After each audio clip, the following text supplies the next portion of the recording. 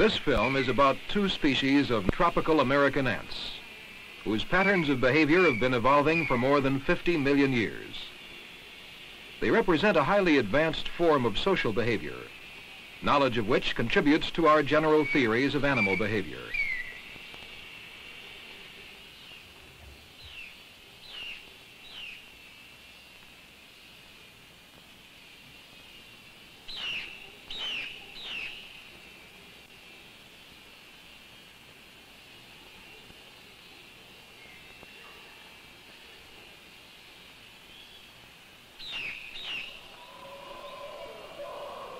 How can we understand the organization of colony life in these ants?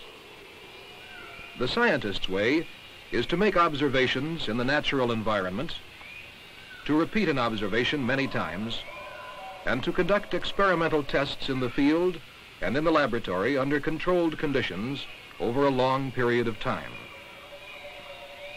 Following an army ant column in the dim light and tangled growth of the forest is not an easy course but it is the only way to find the home site, or bivouac, of the colony.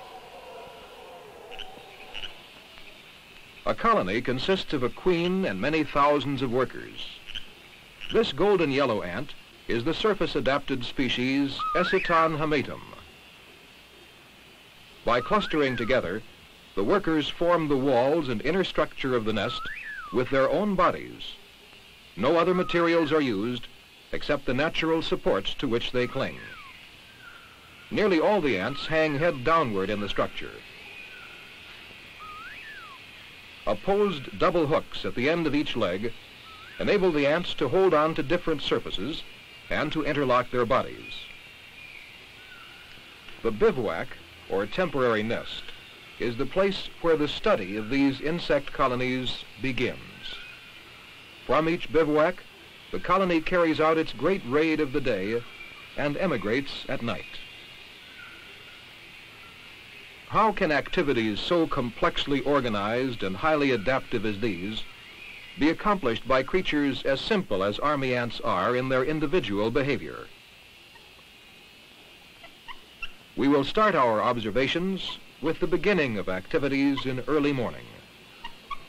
When the first light reaches the bivouac wall, it stimulates and excites the ants.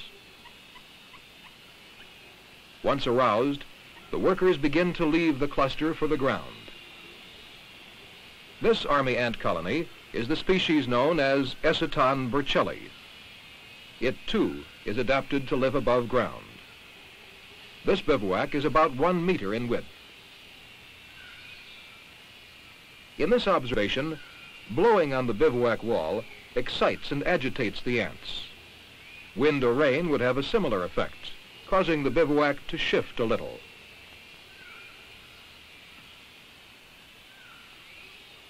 Each morning, workers numbering some hundreds of thousands, as in this species, swarm from the bivouac to pillage for food on the forest floor. As their numbers increase on the ground, the ants are pushed ahead by the pressure of those behind.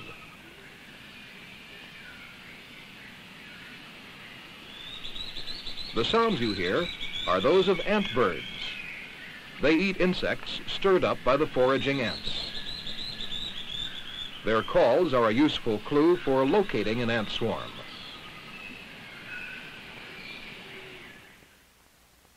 During the great exodus from the bivouac, at the beginning of the raid, the ants swarm out in all directions from the nest. Gradually, this movement turns toward a dominant sector. Ants coming in from other areas move in columns and connect with the developing swarm or the bivouac.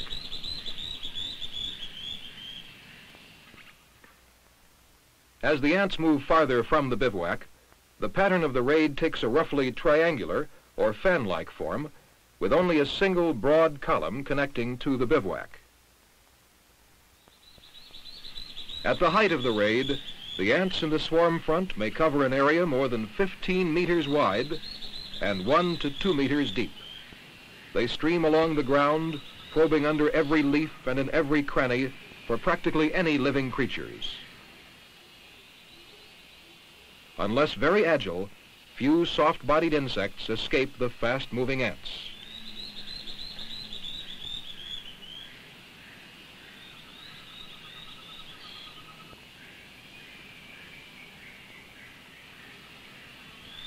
Few obstacles in the terrain stand in the way of their attack.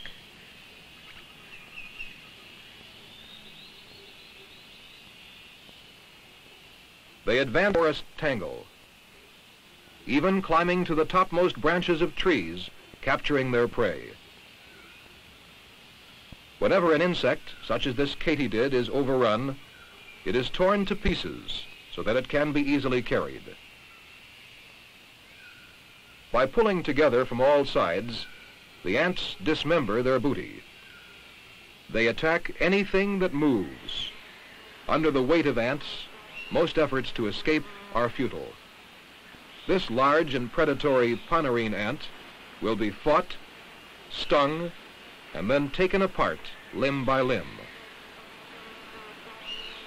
The buzzing of flies of various species is another characteristic sound accompanying a swarm raid. By mid-morning, the booty-laden ants crowd the principal trail as they move toward the bivouac. Parts of insects and other arthropods, such as eggs, larvas, and pupas of wasps and ants, are hauled along in the procession. How do the ants find their way with all the confusion that seems to exist in these masses of scurrying bodies?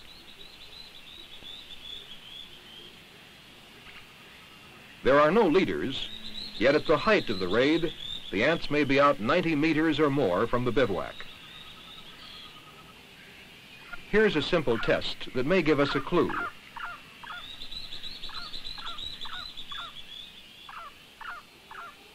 Why do the ants stop short when the leaf is removed?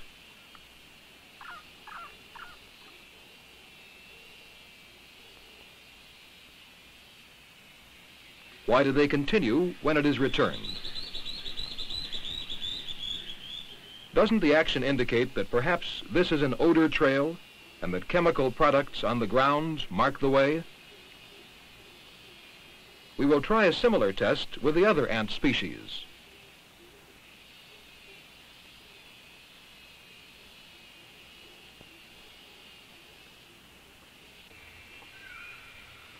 Again, behavior shows that a crucial stimulus has been removed. How can the trail be restored? From this and other experiments, we find that the excited ant leaves a chemical trail on the ground over which it moves. Once this basic scent is laid down by the first ants that move into new ground, sensitivity to chemical stimulation permits others to follow have a difficult time returning. If the ants are forced into moving on outlying trails, they often deposit their loads in booty caches.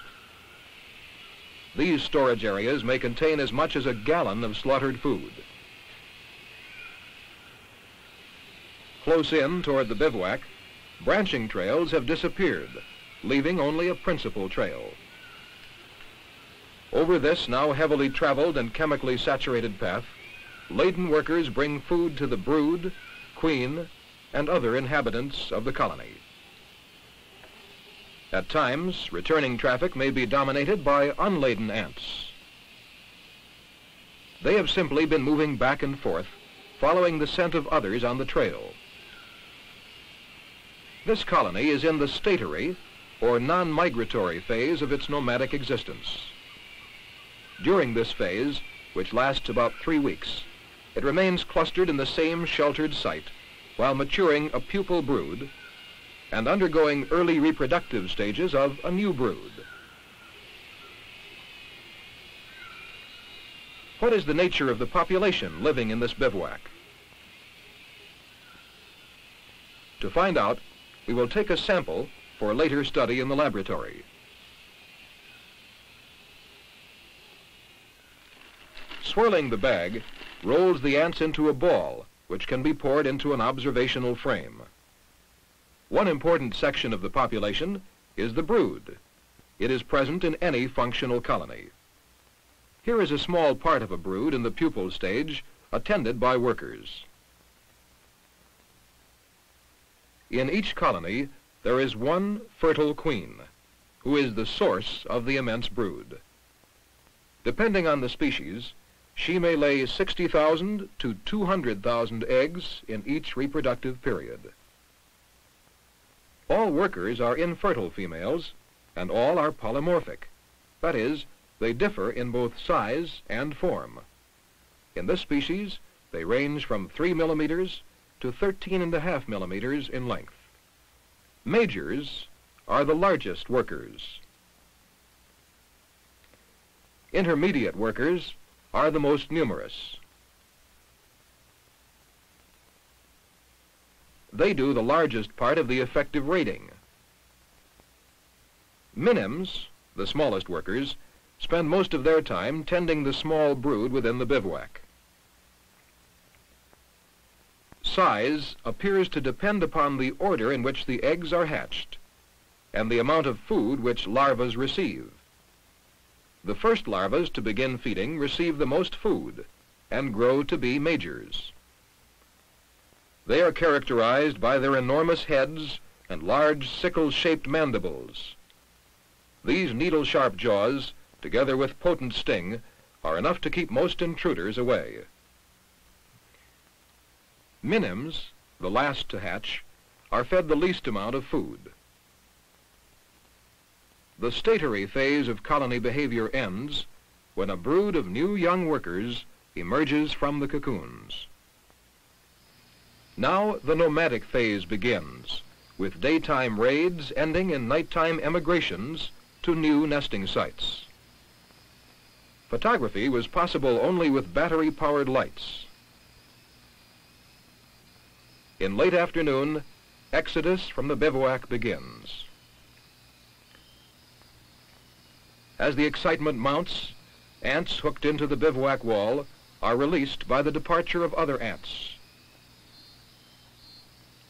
As the cluster gradually breaks down, they pour from the nest, and emigration begins over a raiding trail developed during the day. Late raiders returning to the bivouac are forced to change direction by the outgoing rush of traffic.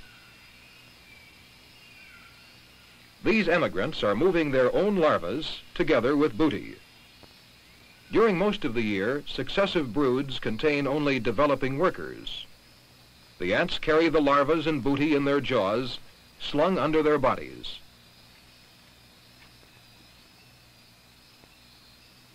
Size of the workers roughly determines the size of the loads they carry, except that majors never seem to carry anything. They often appear to get in the way of others.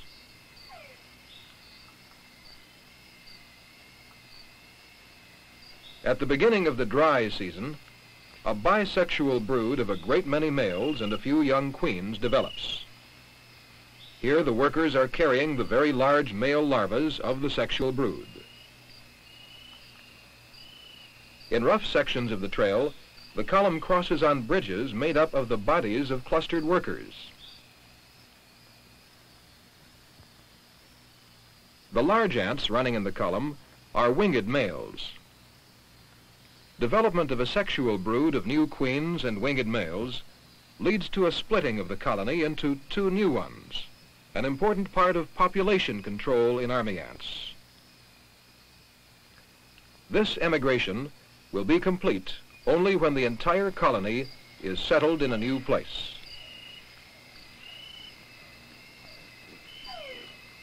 These ants are entering and adding to the structure of the new bivouac. Nomadic bivouacs are not sheltered, but are usually out in the open. In the nomadic phase, emigrations such as this go on every night for more than two weeks.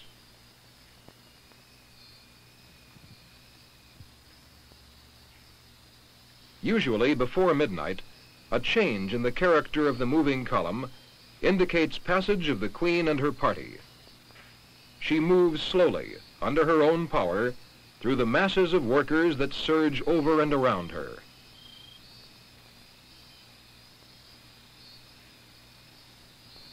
But why do the workers respond so excitedly to her presence? Is this a chemical effect also? Let's try another laboratory test. In this frame, two circular areas have been marked. A queen has been resting on one of these areas for one hour. The other is our control. Now, we remove the queen and her confining cover. Opening the closed tube-like tunnel permits the ants to enter.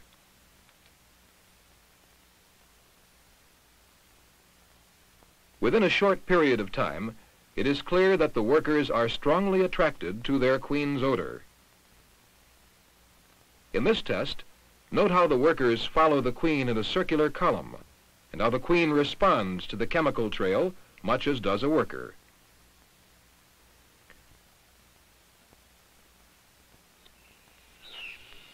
Now, we will return a queen to the natural environment by releasing her close to a raiding column of her colony.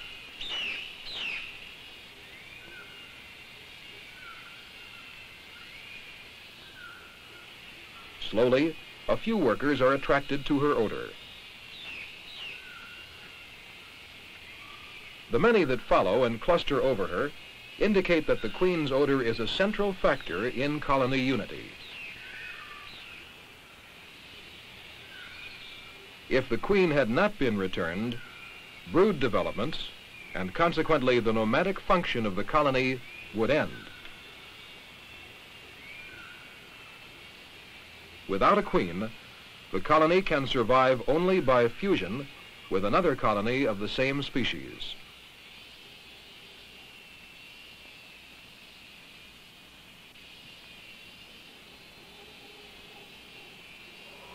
These scenes of army ants in action illustrate how methods of field and laboratory research have been used to study problems of insect social behavior. Research on the swarm raids, for example, reveals how complex mass actions are organized through group interactions of relatively simple individuals. Perhaps the most remarkable finding about tropical army ants concerns the nomadic statary cycles shown by species adapted to surface life.